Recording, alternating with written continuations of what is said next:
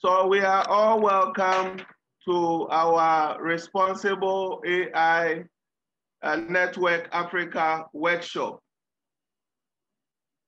The Responsible AI Network Africa is a collaborative initiative between the Technical University of Munich, Germany, and the Faculty of Electrical and Computer Engineering, Kwame Nkrumah University of Science and Technology.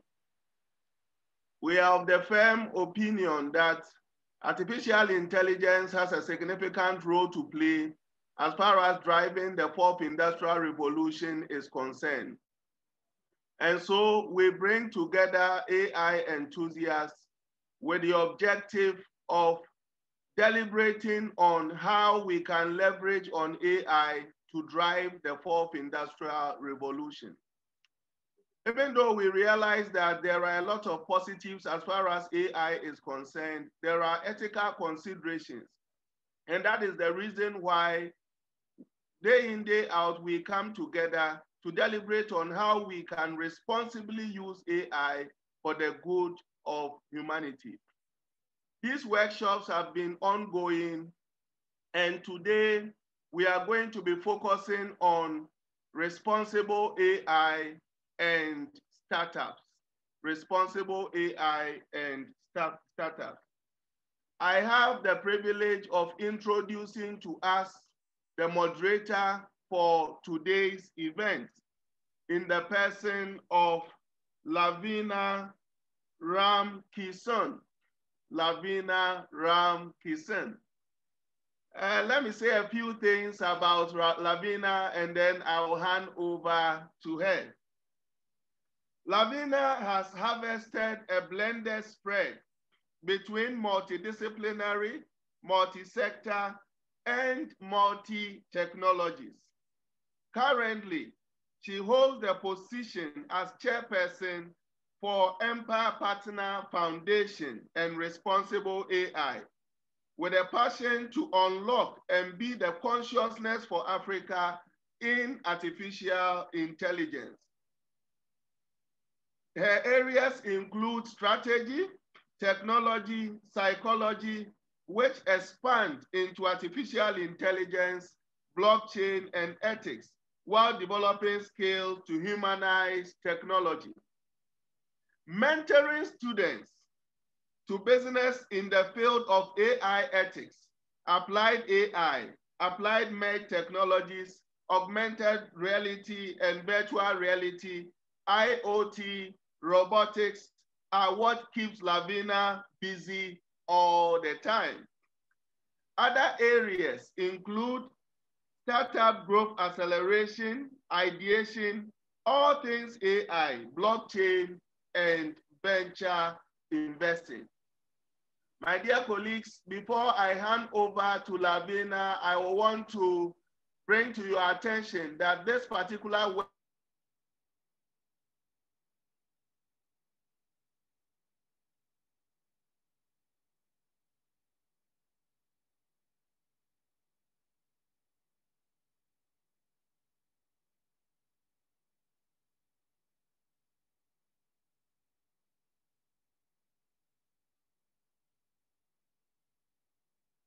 Thank you so much for that, um, Jerry. Uh, that was being very kind. Um, let me extend a very warm welcome to everybody. Um, and thank you so much for joining us at the RAIN Africa workshop, where we wish to unpack uh, responsible AI and uh, startups and what that exactly means. Um, so in today's panel, we have quite an astute um, panel put together. Uh, and I wish to thank them for their time. Just to give everyone a bit of a heads up in terms of the format or the flow. Um, so I'll introduce each of the different speakers and then they'll have uh, five to seven minutes to kind of give a brief presentation around their thoughts around it. And then we'll go into the panel discussion and questions and answers uh, together with some applied use cases. And then we'll do a bit of closing um, thereafter. So um, just to share some thoughts uh, around responsible um, AI. For me, it's been very much a question of um, is it a fairy tale or is it something that um, actually does exist? Um, and if so, to what extent? So for me, uh, it has always been um, pretty much around human responsibility. That human responsibility is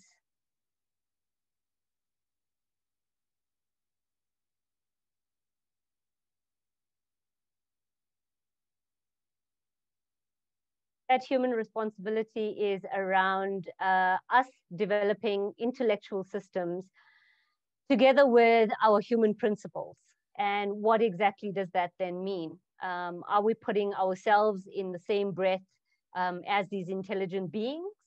Um, are we then held responsible for these intelligent beings or do we allow them to be responsible for themselves? Um, in, in essence, for me, um, this has unpacked a whole lot of other questions, especially within the African context.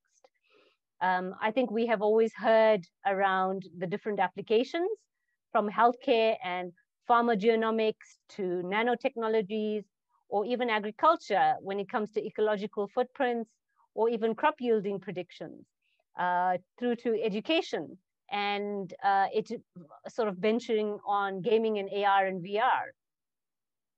So in all of this, where do we stand? What do we need? And how do we actually get it done?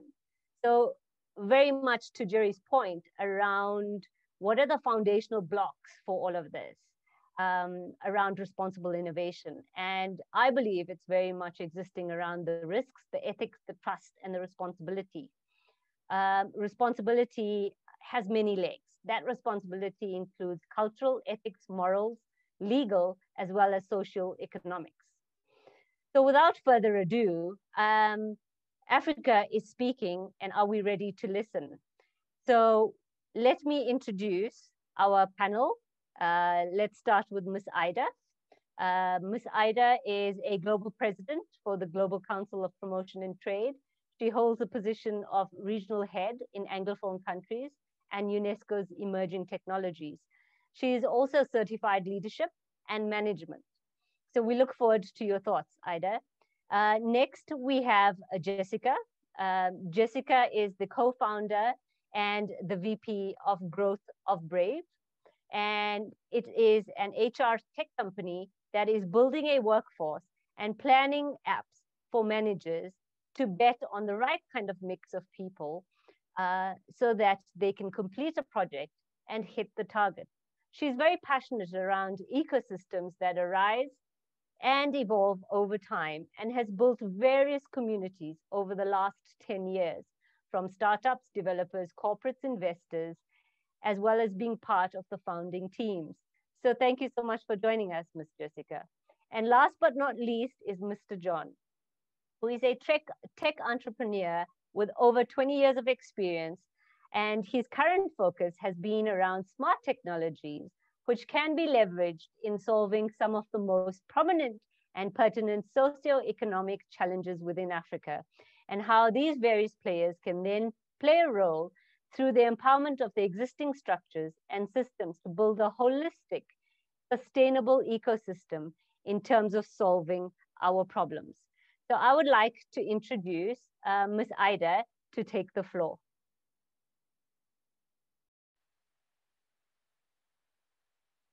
Thank you so much, Lavina. That was a really wonderful um, welcome. I'm, I'm, I feel honored and I am just glad to be amongst such people who are looking into creating solutions as we go. Because there's one thing that we have learned being in the tech community, and it is that sometimes we leave things a bit too late. But in the current era, let's say for the for the past five years or so, I've been seeing solutions being created, as well as the ethical and moral imprint being created alongside it. And for me, I think it's a great step for man, seeing that in the past, probably we were a bit selfish in the way that we approached technology, looking at it as a way to solve our immediate problems mostly individual or mostly from our own localities, but ignoring the, the issues that came about with what kind of inequalities might be propagated as a result of the technologies that we are building? And also, how sustainable are we, how sustainably are we able to work with other stakeholders? It's really exciting for me to see these kinds of conversations, Lavinia and Jerry and Kathleen, because, and of course, my fellow speakers, because it's something that is very close to my heart and I'm just glad to be part of this moment in time. You've already given an introduction for me. So uh, I don't believe I will go into um, what I had prepared. Probably I will first give a chance for my co-presenters to introduce themselves so that we are all on the same page. And then we can go deeper into the discussions as per our, our own opinions and viewpoints. So thank you so much. I'm happy to be here. Perfect. Thank you so much, Ida. Um, just to sort of uh, give everyone a, a brief um, outline, the or, or awareness, um, the session is actually being recorded um, just for everyone's information. Um, so if I can um, sort of ask Miss Jessica to come to say a few words, the floor is yours. Thank you, uh, Lavinia. Can you hear me? Can... Yes, we can. Okay, I'm going to uh, just be on voice uh, because my internet has been going down if I enable video. So uh, please bear with me, everyone. Uh, uh, Lavinia gave a really good uh, uh, introduction about my background. So I actually come from a computer science background but uh, that background has evolved into uh, business background over the last uh, decade or so. And um, I'll, I'll, I'll just give a brief uh, intro uh, into what we are doing as a company. And uh, my presentation won't reflect directly on what we're doing in HR, but more into a space, the agri space where um, the use of AI has been used and how responsible can uh, startups and the users of it can be in terms of uh, UV, a, UAVs like drones and uh, precision agriculture. But uh, what we what we realized is um, first and foremost, before I actually I go into the lessons learned, um, I was part of the founding team at iHub 10 years ago in 2010, and this gave the rise of the startup ecosystem in Kenya, as you call it today, the Silicon Savannah. I left after six years and started an HR company called Brave. And what we were trying to do is we were trying to use AI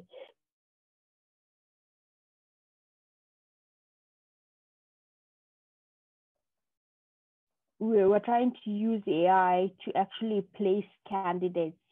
Uh, and uh, and what we realized is that AI can really never 100% uh, replace uh, the human touch.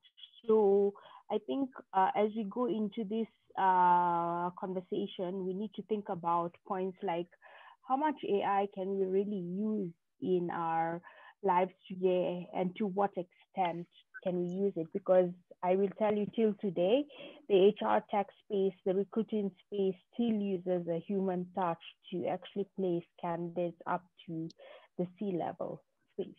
So I'll leave it at that. Thank you very much. Uh, and for information, I'm based in Nairobi, Kenya. Perfect. Thank you so very much, Ms. Jessica.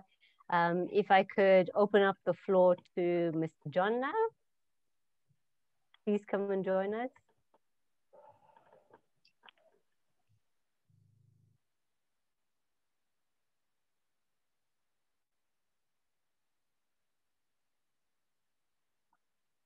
Hi, John.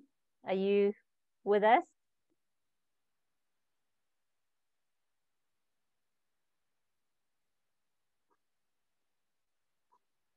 Okay, I guess while we're waiting for John to reconnect, um, if we can um, sort of just uh, play a bit of a game. Um, and, and, and this would literally be, you know, uh, two to three words that you think of uh, when you think of the word uh, responsible. Um, so Ida and uh, Jessica, and for all the participants, if you could put in some comments um, in the chat. Uh, what are uh, one or two words that come to mind when we speak of the word responsible?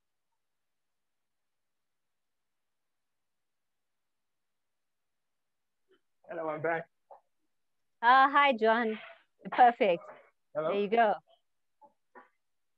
The floor is yours.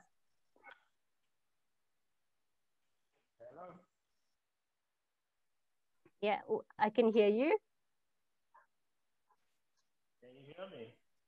Yes, I can.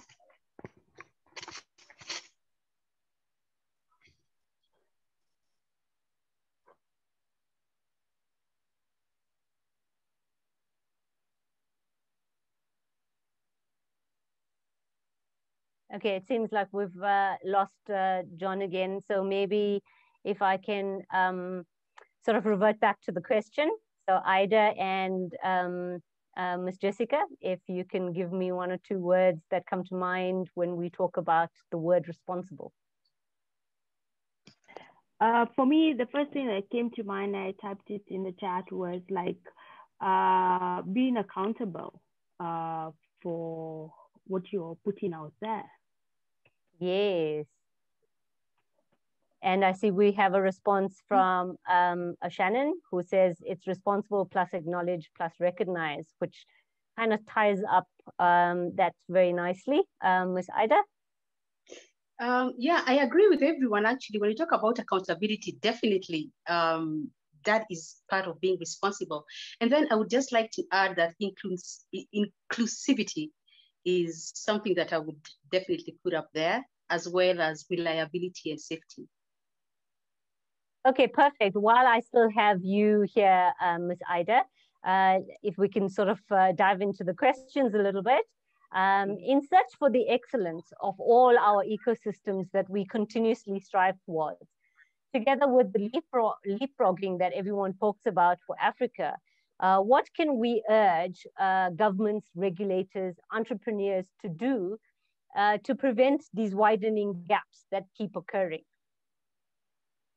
That's a big question. Feel free to segment it. yeah, yeah, it is a big question and it involves everyone. And I'm glad that you you mentioned government because um, here we are talking about the, the, the policy makers, the makers of policy. And just for you to start from that point, for me, is exciting because uh, government is in charge of creating uh, an environment that is enabling, enabling for everyone else, enabling for the startups and innovators, enabling for academia and the kind of research that is being undertaken, and enabling actually for everyone else, be it civil society, so that what people can be able to engage in a way that is um, free and open. And yeah, it can be a bit of uh, a, a, a bit tough, definitely, because most of the times when we talk about technology, government comes behind. It's usually um, the tech community and innovators who push for the solutions, and then you find that government is playing a catch-up game. And this is because government is not per se invested in terms of the knowledge transfer. But that is not, that is not, there's no reason why government should, should not be involved in the knowledge transfer and even be part of um, building an ecosystem that encourages innovation. So for me, I just feel that some of the inequalities we have found in the past is because government was coming in a bit too late and was not in a position to be openly transparent in saying that, listen, we don't seem to have a hang of what the technology is all about. And that kind of transparency is what is needed right now. It doesn't matter whether you're too late in the game, you need to say, this is what is at stake for me, and I need to be engaged and involved. And if anyone is still not comfortable with the technology, there are many other ways to engage. We are having academia, for example, coming in with the research in, on what exactly it means to be ethical and moral when it comes to not only AI, but emerging technologies. And this is the kind of leaf that I would like government and policymakers to borrow. For my fellow innovators, definitely I was an innovator before I went into the international community. So I understand my brothers and sisters when they say it can be very frustrating, when they say that most of these rules are being put in place to stop them or to earn from them even before one has been able to get off the ground. These are sentiments that are very, very, um, I believe, authentic. and this is the reason why we have to start talking about it now. Let's bring everyone onto the table and let's say what, how is this affecting you as an individual or as a stakeholder? For example, when it comes to privacy issues, privacy issues, it's not only the the consumer or the user who should be concerned about this. I believe that even the human rights organizations should be at the forefront of pushing for this for this before it goes too far. But I will not go, I will go into the principles. There's some principles, basic, basic principles when it comes to responsible AI that I'd like to discuss. But first, I guess I would just like to my colleagues to also give their viewpoints as we go on. Thank you. Okay, perfect. Thank you so very much um, for that answer. Uh, if I can invite uh, Ms. Jessica and uh, Mr. John uh, to share their viewpoints on it.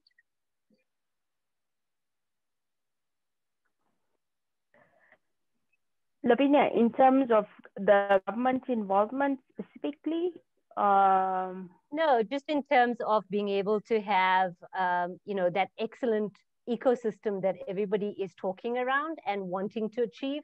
Um, what is it um, for you that we could do to lessen the gaps between governments, regulators, entrepreneurs to actually make this um, really a successful ecosystem? Hmm. The, like like uh, I just said that's a tough one because um, see government is the role of uh, government and academia is seen in the is seen as uh, regulation. It's seen as providing frameworks, right? So the moment um, the moment entrepreneurs uh, view such players, they immediately want to either stay away or either want to engage, but mostly they want to engage uh, a recent example was like uh, with the formation of the uh, bit uh, the uh, the blockchain um, protocol um, committee that was about uh, two years ago. The government of Kenya did call players from different industries to be part of it and contribute to a to an assessment framework of how blockchain could be used uh, in terms of smart contracts in in this part of the world. And uh, a framework like that is very usable. That's actually a very responsible uh, framework. But to what extent we use it to uh, in in in the application of like land contracts, for example, I think that that's where like we actually suffer in Kenya. Uh, the use of land, land, uh, land land uh, title deeds as well. So that that's an, a, a perfect example. But uh, there's there's hesitation. There's a lot of hesitation because uh, as an entrepreneur myself, I participated in a lot of call to participation in uh, for government, not really AI or technology, but other frameworks for like tax and the digital tax service that was just introduced lately this year, and they were still going to introduce introduce that 1.5% on every uh, online uh, uh, transaction uh, that you make. So there's a lot of hesitance, right? So academia and government are seen like also it's supposed to be accountable, but then there's resistance. So there's the words like reliability and transparency and fairness have no uh, kind of or integrity have no withstanding with with them bringing together uh, bringing them together as an ecosystem so that's why you find startups going off uh, and starting their own innovations like um, we have a very good example locally whereby uh, bitpesa which is a blockchain um, company that started in Nairobi uh, about six to seven years ago pulled out because uh, the government really didn't understand smart contracts at that time. And then it had a lawsuit with a telco. And then they set up their uh, HQ in uh, in Europe, where it was uh, it was more understood, and they could actually like do uh, exchange transparently and responsib- uh, responsibly in a way that the ecosystem understood via different continents. So I think this is some of we're still at uh, early stages when it comes to this part of the world of responsible AI and how far it can be used because five years ago, uh, again, uh, U- UAV or drones were banned. Now they've been introduced back to government to, uh, and you have to have a license to use a drone. But they've been uh, introduced back by, into government to actually say it can be used in agriculture. Check Rwanda, for example, using Zipline to actually uh, ship uh, blood or medical supplies uh, via Zipline to different areas around the Rwandan uh, villages, for example.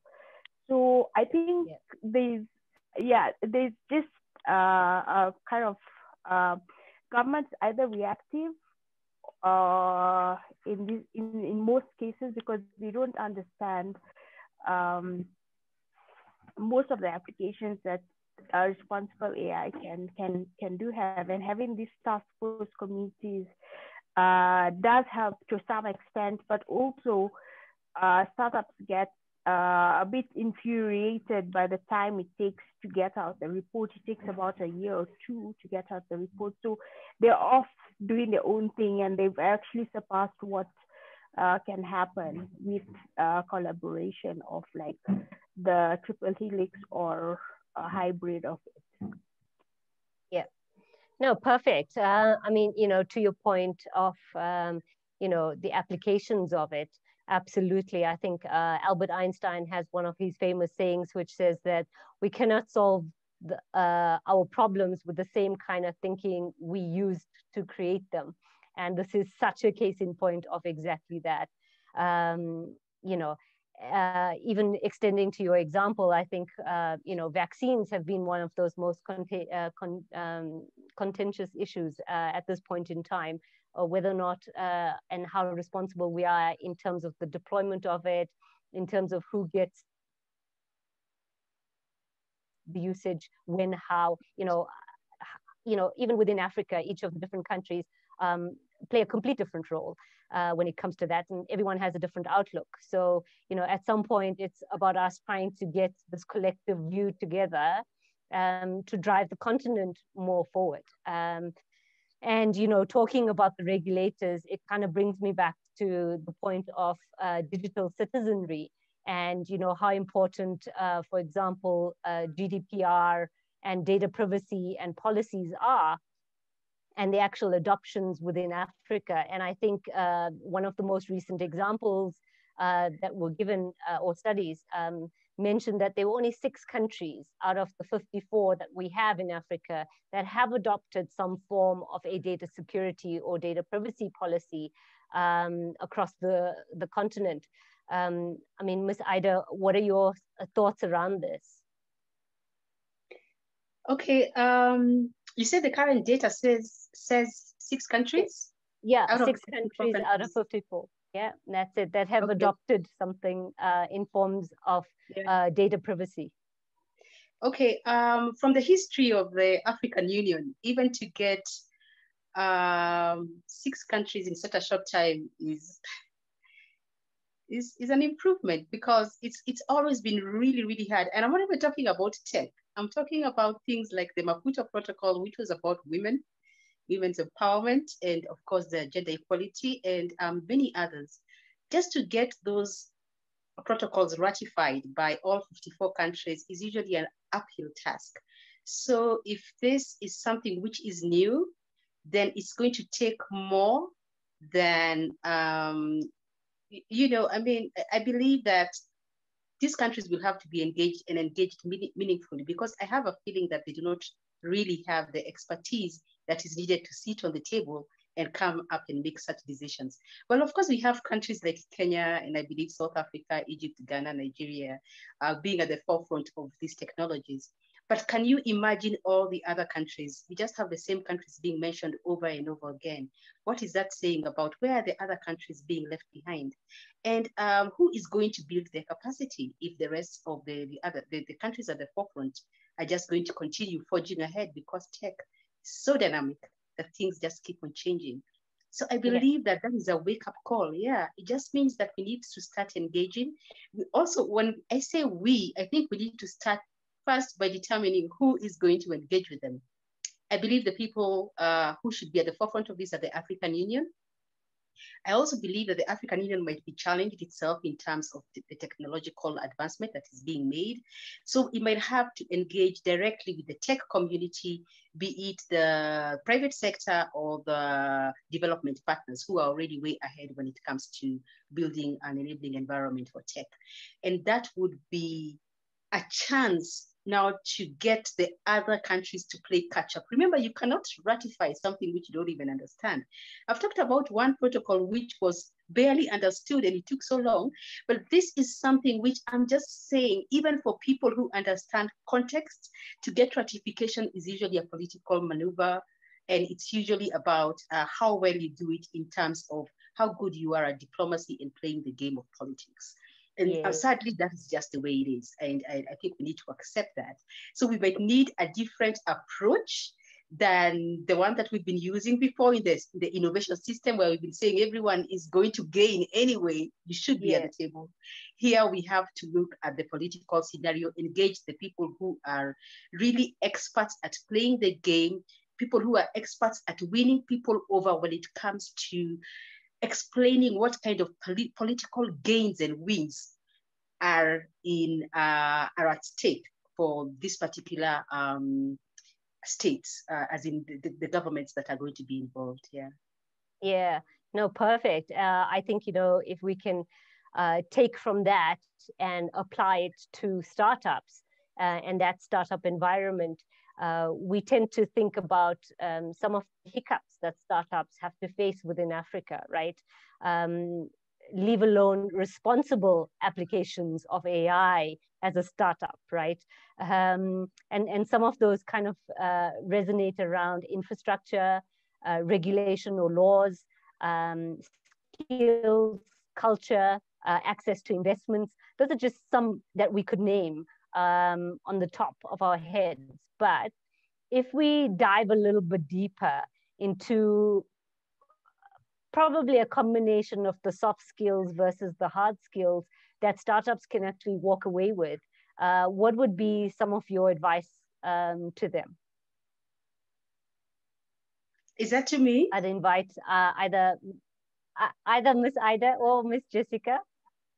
For me, negotiation and I think Jessica is gonna add to this definitely being that, yeah, being that she's very passionate, she's very passionate. Yeah, negotiation skills. yeah, these are some of the things that are left out of the the learning when it comes to you know innovators and entrepreneurs. If you cannot negotiate, then it's your chances of even succeeding, even in terms of your own in your own space, be be the niche that you have created for yourself uh, is going to be very difficult. So for me, I just say that these are some of the skills we need to build. Perfect. Thank you, Ms. Jessica. So uh, some of the uh, let's let's go to the hard skills, right? Um, AI is a is a word that was thrown around in the last decade as a very sexy word. Artificial intelligence, as as it uh, comes, right? The first thing I think about is a computer scientist. I think about the Turing machine or uh, Lady Ada Lovelace, who's like one of the very few computer scientists who are celebrated. So AI first came into existence. Let's go to the history of it through like uh, through the war, right? Germany and England during during the First World War the Enigma machine. And um, and and and learning how to build AI is not for the faint-hearted. That I can say that um, AI is um, something that actually has to be very deeply understood and learned. You can there's a data science side of it, but uh, we, when we go into deep learning, And uh, my co-founder Danielle, she's our chief scientist, and she's really like the expert on our team. Uh, some of the things she does are, is beyond me because she's the real AI expert. And there's agent-based modeling and all different models that uh, you have to think about. It's like being an economist plus a practical uh, application into one.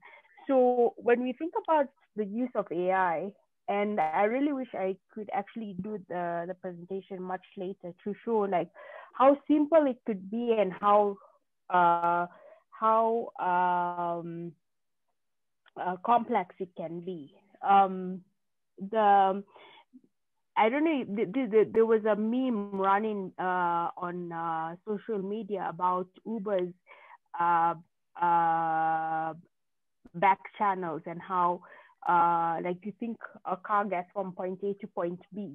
Now Uber actually have like a lot of uh, servers and systems running behind the platform for uh, for requests like that. So that's actually one example of the use of AI crunching large amounts of uh, petabytes or even terabytes or more of data to actually uh, like get you the right rider.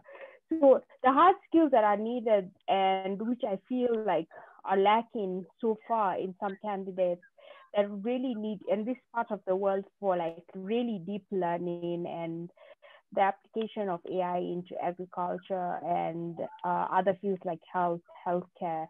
But I'm talking on the tech side, not not not the medical side for now. Are are more of like the critical learning uh, side of things, uh, the logic, and I think I think logic is re- related to the critical side of things.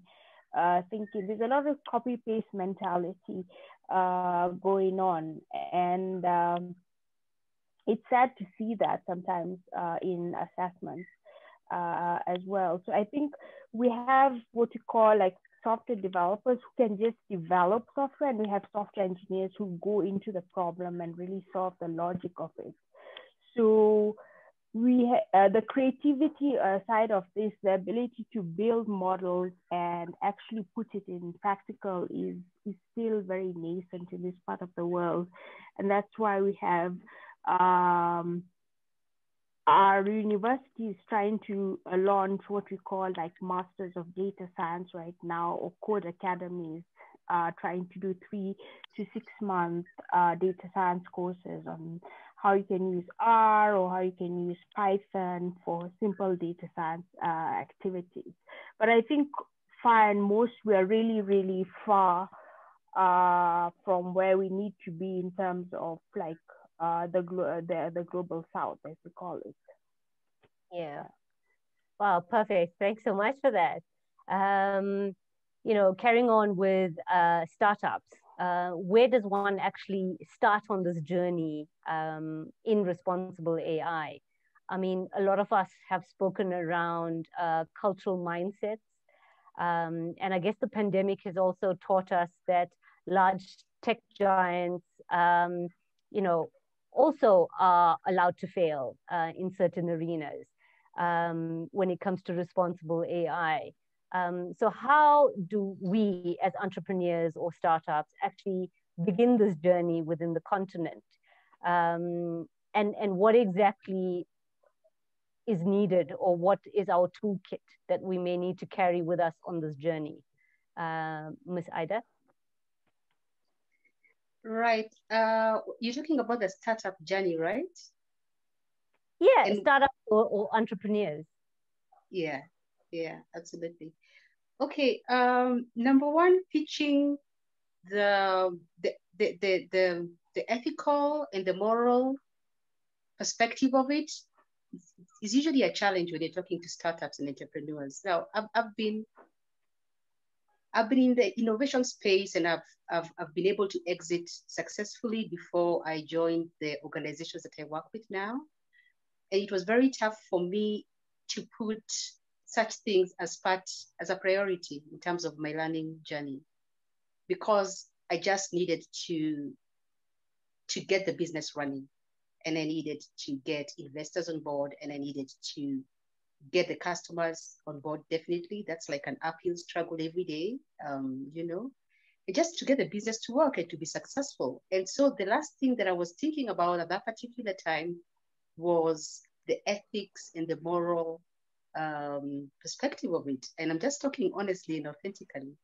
So if I'm going to talk about startups and entrepreneurs right now, I think we need to engage, but maybe engage startups and entrepreneurs in the spaces we used to engage before. And this was at meetups. We had meetups happening like almost every day.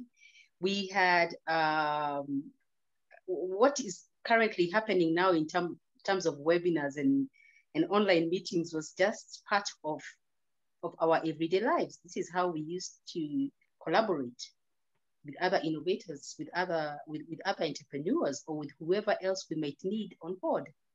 So uh, the bigger conversations, I'm lucky because uh, even before I was, uh, I, before I went into tech, I, I, had already done policy.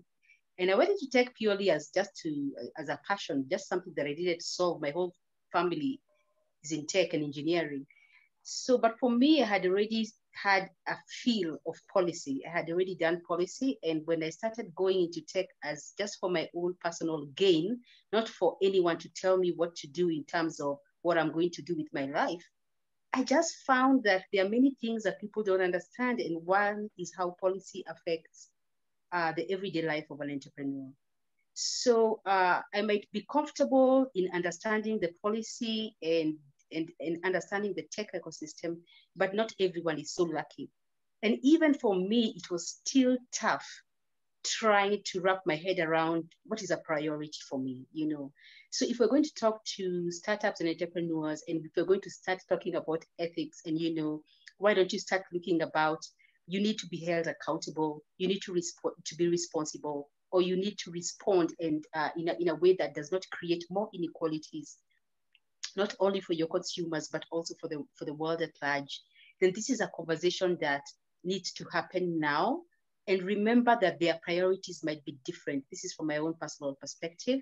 So we might need to make it engaging and maybe look at it in a way that for me, what would have caught my attention is if someone had told me, if you do not put this in place, then it's going to affect your business I know you're planning to exit in the next six, seven years, but you can be sure that you're going to have created a problem for the people who are going to come on board if you do not put this in place. That would have caught my attention. So mm. I think we need to be realistic about that. Yeah. No, absolutely. And I think just to quote uh, one of Steve Jobs' uh, most famous uh, um, quotes, it says that innovation is having to say no to a thousand things. So as startups, you know, I think we find ourselves in, in, in somewhat of a key uh, area uh, to be able to have the ability to say no, but then also to understand what impact we're creating, right? How far does our impact actually go? Um, you know, a lot of this uh, for me from my psychological perspective uh, has always been uh, what is your core so you know each individual person is held responsible or thinks responsibly and those things mean very different things to each and every single one of us. And added to that, we have the complex diversity within Africa. Um, you know, all the different cultures, all the different dialects um, added above that. And how do we find that common ground around it? Um, so, you know, I think going back to, um, you know, reflecting upon the pandemic, uh, it's obviously allowed us to uh, to have a faster adoption rate around digital transformation. So, um, Ms. Jessica, if you could give uh, startups some advice how to better manage their digital space, um, how, what advice would you give them?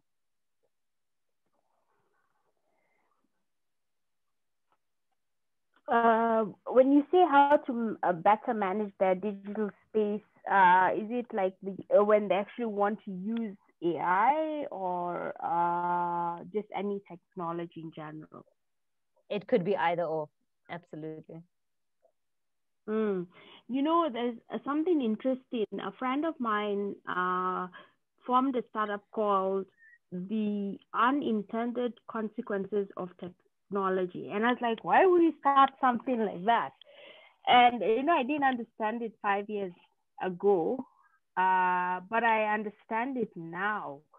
Um, let's uh, I'll just give a very very simple example right now of what what has happened in the last couple of weeks and the use of social media, right? And social media has actually like how to manage our digital space better in terms of like it's it's made the world so ubiquitous that I can connect you when you're using Zoom. I can connect you at uh, any second or any minute at the time, no matter where you are now. Uh, uh, Instagram, Facebook, WhatsApp. I can text you if I give if I if uh, actually have your number on Facebook. But look at the privacy issues that have uh, cropped up in the last couple of months or years over the use of WhatsApp uh, into the integration of Instagram and Facebook. It has the it has intended consequences, and the intended consequences are to mine your personal digital print, right? So I'm going to give it as a uh, from two perspectives. As a user, you need to be cognizant of this: is that once you have any online uh, account, you have a digital footprint. And it is your responsibility as to how you use it, whether you read the privacy issues uh, or privacy policies and, uh, and how you accept those policies. As the uh, inventor of uh, such technologies, we have to be cognizant also uh, what um, consequences that they do have. So we have to like foresee them and know the the intended consequences they do have. Uh, meaning, like if you're, you're going to use um, um,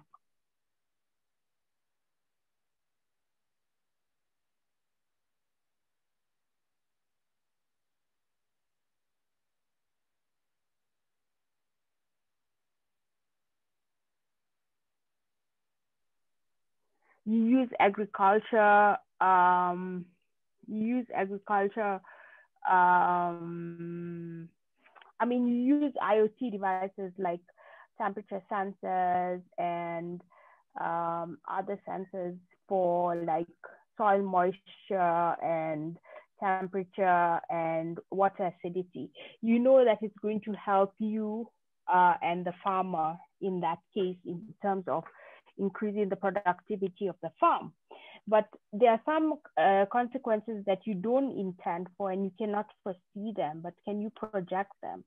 So uh, uh, for him, uh, and for me, like that has come to mind in the last couple of months, and I was like, oh my god, we actually need to like map out what are the uh, unintended consequences that this might have that we might not see. Uh, for example, AI might, uh, the social dilemma, which was re recently shown on uh, Netflix, for those who have not watched it, uh, actually it's a must watch. You might get off Instagram after you've watched it. I'm not alarming anyone, but uh, the click of a button, you all the time want to go when there's a push notification, you want to go in onto your uh, devices all the time and see what's happening. And even when there's no uh, messaging coming in, you always want to like refresh and see what's going on. It's literally making us like robots of ourselves uh, in this day-to-day life. The automation, the use of um, the the um, the AI of like Siri and Google Assistant. I'm not saying it's a bad thing, and I, I am a technologist at, at, most, but I also also I think there's a limit to how uh, how much technology you can use in your day-to-day life, and uh, we have to be responsible enough to see where we can be more accountable for it uh, as inventors and what it has uh, the implicability it has on users as well. Okay, perfect. Um, at this point in time, I'd just like to uh, remind the audience if they have any questions, please pop them into the chat. um, and we'll be more than happy to pick them up as part of the conversation. Um, and I guess, you know, uh, just uh, picking up from your point, Jessica, around the social media uh, sort of optimization that we find ourselves in, uh, it's been very much around, uh, you know, um, finding the balance between what becomes invasive and what isn't invasive from a technological standpoint. And you know having that uh, balance being drawn in. And again that's one of those interesting ones like values where it's very much niche to each and every individual um, that is here and i guess the transitioning that's happening in in, in startups or corporates um, has been very much around from trust um, you know um, control and power into one of trust transparency and fairness. And uh, that probably speaks large volumes uh, in terms of the mindsets for startups. And you know they already have a desire or driving initiatives to make impacts for humanity they want to collaborate they want to start businesses um, but yet within the african context we still find ourselves with a data rich sort of information poor scenario um, where digital ethics uh, is fast becoming our new state of reasoning, right? Um, so, how does data ethics in itself um, actually influence how we responsibly innovate? Um, if I can pass that to Ms. Ida. Okay, sorry, come again on the last the last part of what you need from me, please. Okay, sure. So, how does the digital ethics um, influence uh, how we responsibly innovate? Right. Um, yeah, definitely it's going to make a big difference if we start from that point. If we're going to start at the point where there is an ethical and a moral um, responsibility of what we are creating, then definitely the conversation, the tough conversation will have to happen. And for me, I feel that, okay, it should have happened way before, but again, this is this is not a space we've been in before. so we seem to be creating things as we go. And we seem to be reactive. And um, just like you said, um, Lavina, and also Jessica, that it seems like the situation has already caught up with us. So you have the case of WhatsApp, and there are also some some pretty alarming um, information going around, and I mean from trusted point, uh, from trusted sources. I don't mean, I'm not talking about fake news here. From trusted sources, there's some alarming information coming through and to actually how much data is mined using the apps that we so willingly download or whether they are uh, mobile apps, web apps, it doesn't matter. Whatever we are using, whatever we're engaging with every day is actually, we put ourselves at a risk, not only of parting with our very private issues or things that we may not want other people to know about, but also can put us at risk of third parties who might use the data for nefarious reasons. So the conversation is happening now because it has already, we've already reached that point where data breaches are happening and they're happening big time.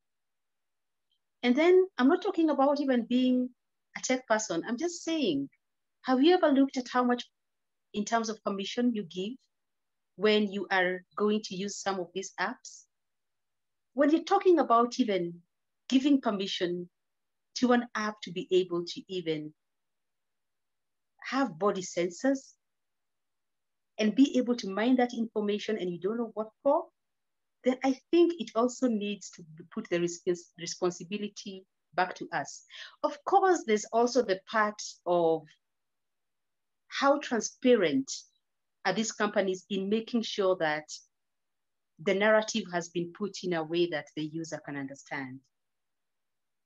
But then again, they might just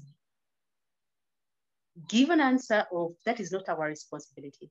Our responsibility is to make sure it was done legally and it has already been sent out there for people to accept before using our products or services.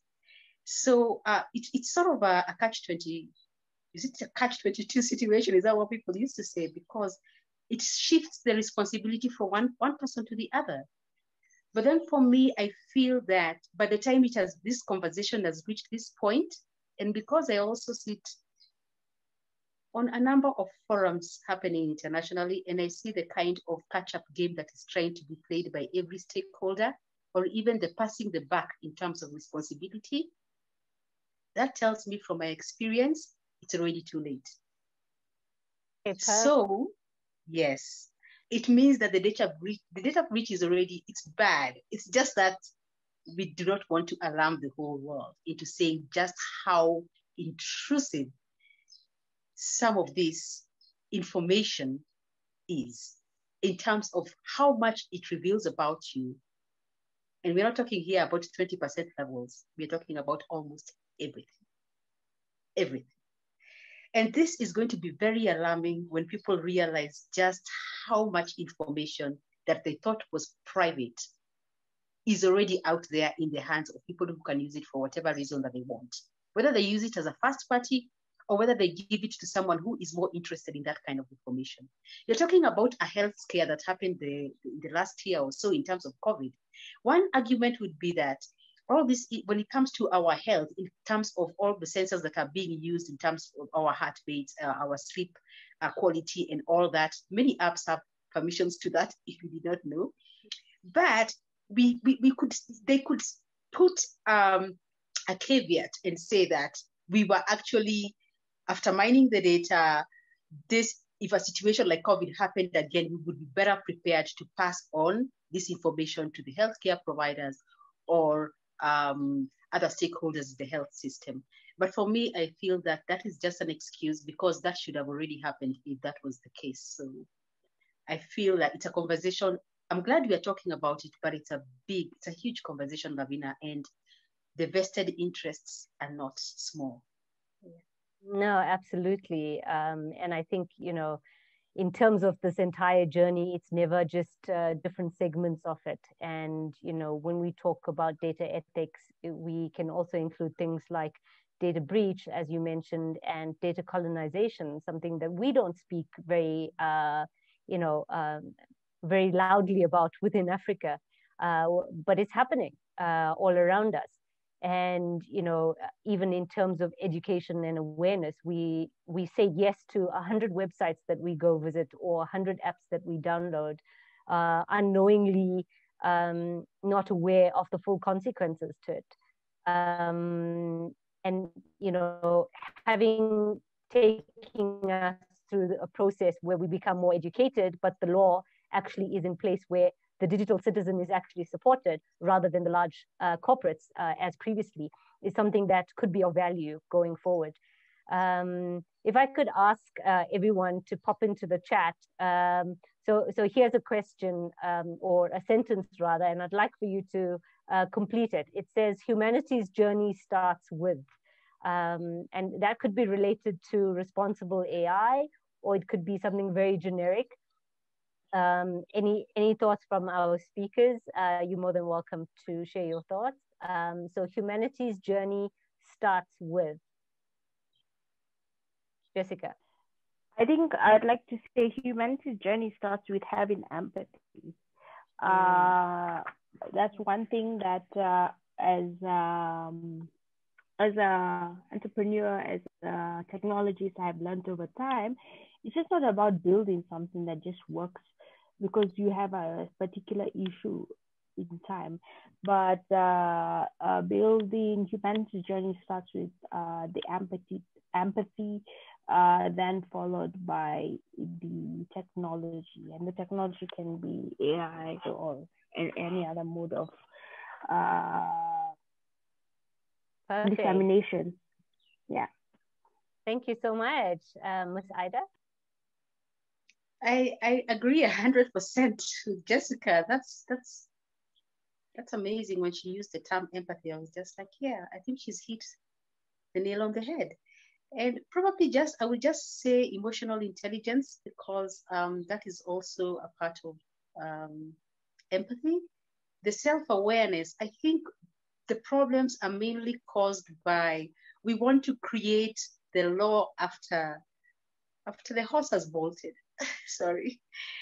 And it means that by then, the, the, the, the creators of the technology have already come up with so many ways in which to evade or to or to sidestep the kind of tough questions that are going to come about. So that's why I say that um, the cre- we, if we start, I, I like the word she used, empathy, because this puts the responsibility in the hands of the creator of this technology. And it means that even, yeah, because they should have been thinking about what are the consequences even before getting to that point where the consequences are beginning to be such a, a house of cards. So I think that's where we should have started. I think that's where we can still, we can still, we can still instill some of these things. We need the self-awareness and we need the self-management in terms of for me myself am i really able am i am i willing to put myself on the line in terms of i knew this was happening and i did nothing about it. These are type of conversations we are going to have. So as i said for me before i exited if someone had told me that what i was creating might have some totally negative consequences on other people's lives in the future i would have thought twice i really would have so I think the conversations should start happening now. I don't think that's what I meant. I successfully exited, and there are other people who are responsible now. But I would have, I would feel terrible if there's nothing I can do and it's already out of my hands. So for the people who the tech is still in their hands, this is the right time for that conversation. Perfect. So empathy and self-awareness, and um, one of the attendees actually, um, or two of them, I'll I'll read out their responses. And one says that humanity's journey starts with awareness and a conscious appreciation of the environment around them, no more so that the impact to technology has on their ex- existence. And I think that is really, really profound, uh, profound, having that consciousness around everything that you're doing or everything that you are being is uh, definitely the largest influencer in everything that we create. Um, John Davis um, says, while humanity's journey starts with uh, the knowledge of knowing where exactly you want to go to. Um, so that's really, really cool and some really nice responses. So thank you everybody for that. Um, I guess if I have uh, one more question, if I could put that out to uh, both Ida and uh, Jessica, it says here that um, do you actually see any specific potentials or challenges to innovating with responsible AI or AI for good uh, within the African context in particular? Miss Jessica? Um, could you just repeat the question again so I have a, a good grasp of it? Okay, sure. Um, so it says, do you see any specific potentials or challenges uh, to innovating with responsible AI or AI for good within the African context in particular? Yeah, I have a. this is a topic of uh, probably debate, but uh, what I can uh, what I can say about it is, a, within the African context, we don't have um, the the data all in one place. It's it's actually fragmented. Uh, uh, I wouldn't say probably the data quality yeah questionable. But uh, data data is what we even for us as a, a, recruitment when we when we were doing recruiting we had that issue of like not having all the data in one place. And that's one thing why we stopped automated recruiting. So uh, like university data is still in pdf format and you have to like really uh, scrape it off so for me i think it's like if we really want to have like uh ai working first number one ai working and responsible ai working we need to make sure all these quality checks uh, are being done to ensure that there's no corruption of the data or uh, misuse of the data uh, in some in some ways because one system could use it differently and another system could use it differently So I think um, a framework for uh, using data in a systematic way is also also needed, and that's what would make it more like responsible, accountable, reliable, all the words that that people put uh, in the previous chat. Okay, perfect. Uh, we have a question here uh, from Manuel who says that um, are there any sort of companies that we know of uh, in Africa that are actively working on changing and improving ethics in AI within Africa? And specifically, what are the tools that they are using uh, to provide AI for all? Um, do any of you ladies want to take that? Um, I have some some thoughts around that, but um, Jessica or um, Miss Ida? I I let Ida or you take that. Okay, um, so I think there are one or two different uh, organizations or companies locally um, that actually are working on it, and I'm happy to connect with you post this to give you a list of them. Um, the kind of frameworks that they're using is very much a combined framework. I also am aware that there's a white paper being written around a specific framework, uh, ethical framework uh, for AI applications within Africa. So that's a pretty interesting uh, paper to come out soon. And um, so is there room for us to do more around it? Sure. Um, baseline ourselves against frameworks like the UNESCO or UNDP or uh, the SDG goals um, are, are, somewhat of a baseline, but they're not the actual uh, core of applications. And the applications is pretty much where we can, you know, gain the most benefit from uh, in terms of that. Uh, we have another question here which says, um, how do we undo the complexities that are created by technology being on the forefront and regulators playing a catch-up game, especially when it comes to empowering the end user? Um, Ms. Jessica, do you want to take that? Yeah, how do we, what's done is done. Uh, I don't think so. Like uh, when you say how do we undo the complexities created by technology, um, what's done is done with tech. And as uh, human beings, we have to be the best thing we can do as um, an owner or an inventor, a part of that technology is to be accountable, be cognizant of what it has, the repercussions it has, whether good or bad, uh, whether there's a data breach, uh, answer for it, right? Like Mark Zuckerberg answered for the Cambridge Analytica. Although evasive and very still controversial to this date, um, face it, own it. Don't don't shy away from it. You're the one who came up with it. And um, I think there are two in one questions here how regulators can care. Regulators will always be behind, like mm-hmm. by one step. Yeah, it's, it's, it's, it's, it's quite interesting to see like how regulation tries to catch up with uh, uh, the mobile money ecosystem in, in various ecosystems, whether it's uh, Nigeria or, or Kenya and how rigid it is in some places like Ethiopia, and where you have to go to the bank to make a transaction or a certain a certain aspect where you can't even use mobile money. Um, so I, I I think the question is the elements that have been created. Yes, there are power dynamics that have been created.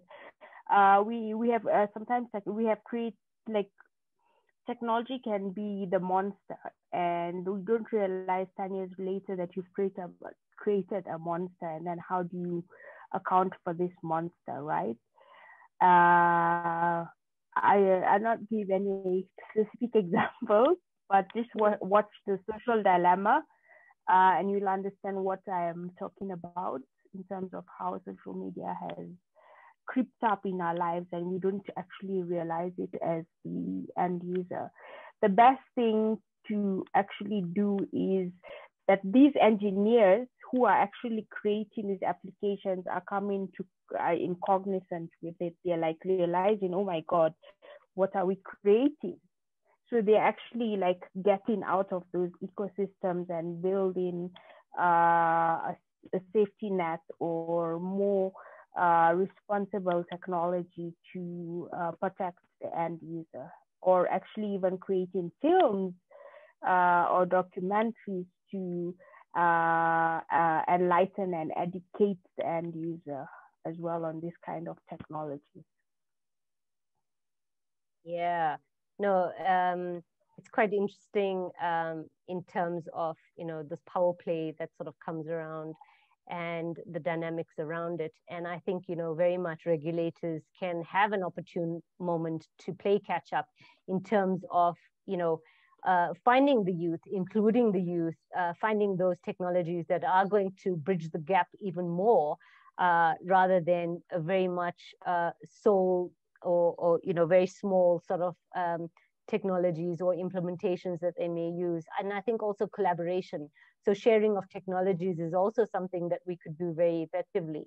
So as much as it's a copy paste idea, people do that because it's pretty much saving Absolutely. a lot of time. But we could also, you know, uh, emit all of that by actually collaborating and, and sharing and making the technologies available to each other um, you know, whether it be on open source base or whether it be on um, on not an open source base.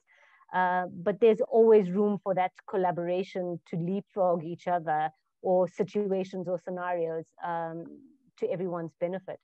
I think we have another um, sort of question here that says that um, you know authorities sometimes are let down, uh, let down as they are the first ones to abuse their citizen rights.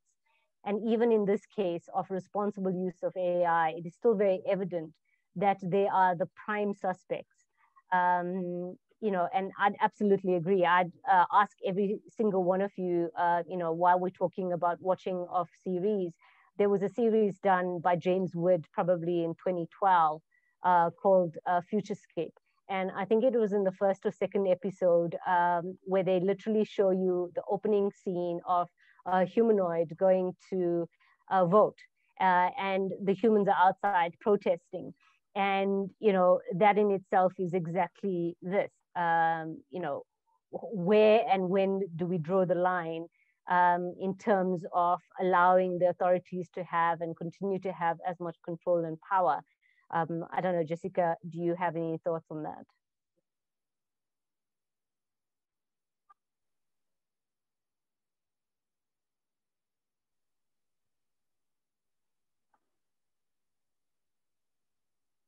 Hi, Jessica.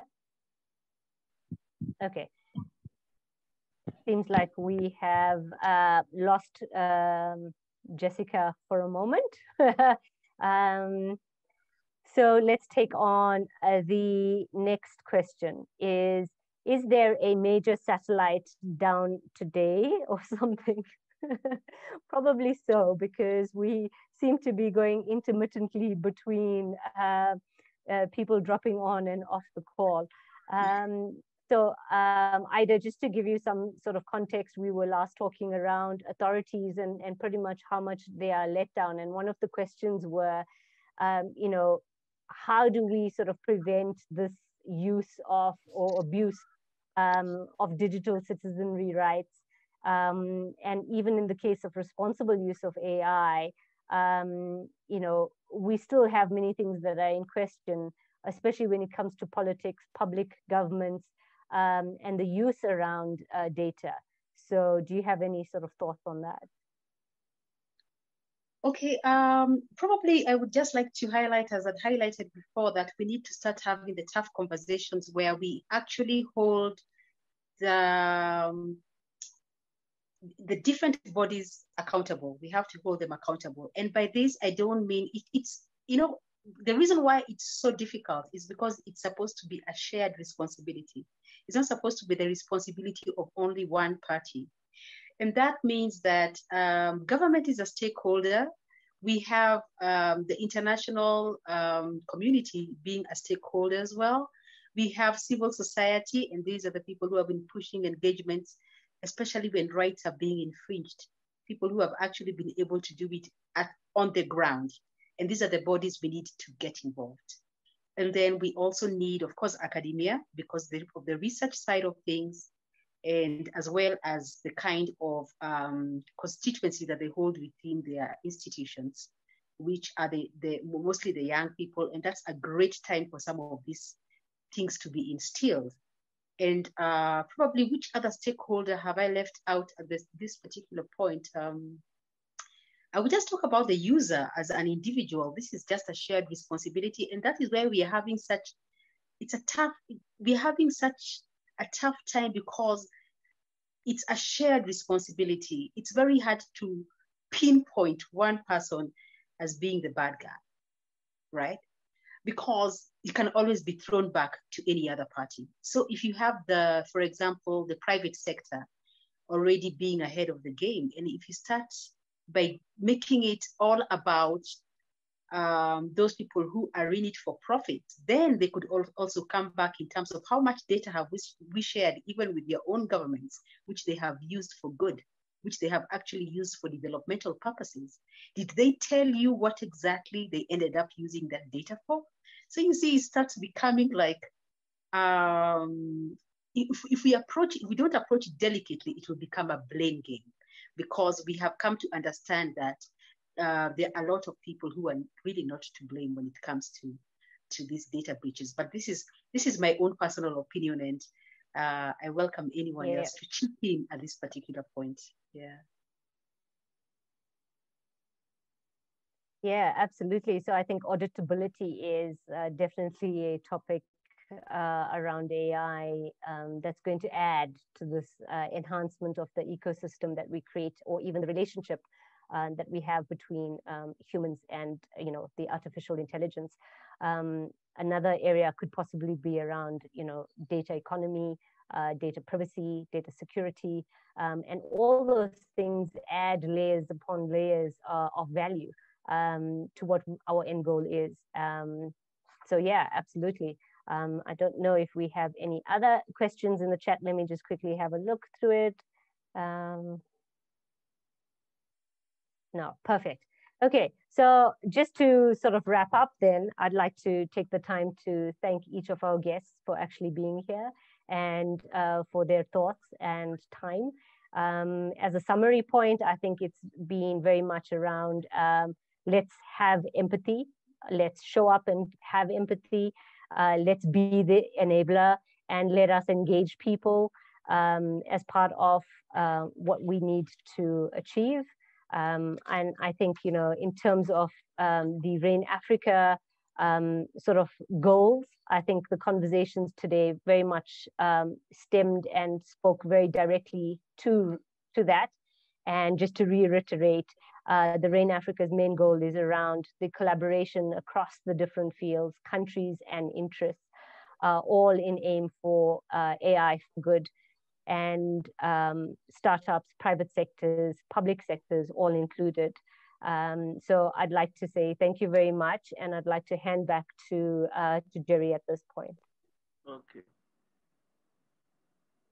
So we, we want to say a very big thank you to our moderator, Lavina Ramkissoon, for doing an excellent job. We also want to be grateful to all of you who made time of your busy schedule to join us in our RAIN Africa workshop. We have uh, another workshop coming up very soon, and that is going to be on AI and energy, responsible AI and energy. The flyers will be out very soon, and we want to encourage that you be on the lookout for it so that you can connect with us and we can continue to deliberate on how we can responsibly use AI for the good of humanity. So on this note, we want to bring this exciting time to a close and look forward to greater times ahead. Thank you very much for joining us and bye-bye to each and every one of you.